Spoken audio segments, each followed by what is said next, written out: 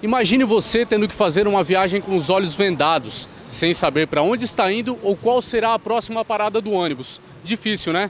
Há pessoas que passam por isso diariamente e que serão as maiores beneficiadas dessa medida. Pensando na dificuldade dos deficientes visuais, idosos e analfabetos, o vereador Daniel Virtuoso Cipriano criou um projeto de lei que obriga as empresas do sistema de transporte coletivo de Criciúma a instalar em seus ônibus um dispositivo de alerta sonoro, de identificação da linha e também da parada.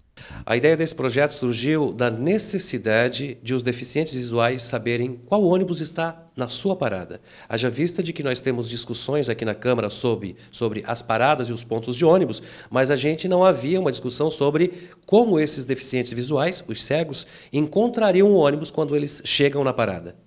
A lei foi aprovada na sessão do dia 16 de outubro e, de acordo com a matéria, o alerta sonoro será acionado sempre que o ônibus chegar ao ponto de parada.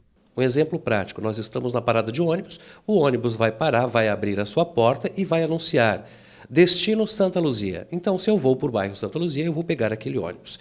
Isso é o que diz a lei. A implantação do sistema vai ficar a cargo da empresa de ônibus, que pode utilizar desde tecnologias avançadas, como um sistema de som, assim como pode utilizar o próprio motorista falando através de um microfone ou de vo em voz alta a linha que o ônibus está fazendo. Ter que perguntar ao passageiro ao lado ou ao motorista causa um certo constrangimento.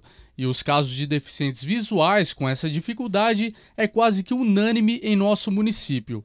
Eu embarquei no ônibus, a pessoa me botou no amarelinho, em vez de ir para Pinheiro, foi para Próspero. então foi essa coisa assim, mas foi, foi bate e volta, né? Que a pessoa colocou no lugar errado. Mas geralmente eu sempre peço para o motorista ou para as pessoas aonde ele vai, para onde que vai, aonde ele para. Uma vez eu vinha para cá, para a associação, ia pegar o Brasília, o cara, a moça falou que era Brasília, quando eu vi eu tava indo lá porque o Redentor, daí não tinha mais o que fazer, eu tive que ir, voltar e esperar e pegar o próximo Brasília. E aí é um transtorno grande, porque daí tu tem que ir lá, voltar e esperar o próximo ônibus, porque se tu tem um compromisso, tu já atrasou pro teu compromisso. Né? Então, eles foram os primeiros pesquisados e a gente é, chegou a esta informação de que este, a implantação desse sistema vem ajudar principalmente a essas pessoas.